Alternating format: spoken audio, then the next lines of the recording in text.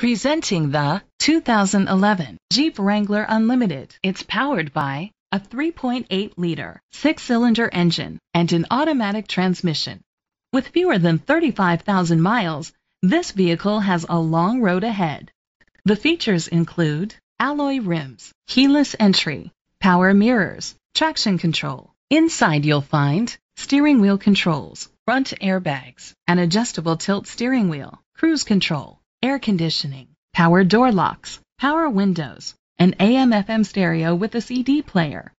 Let us put you in the driver's seat today. Call or click to contact us.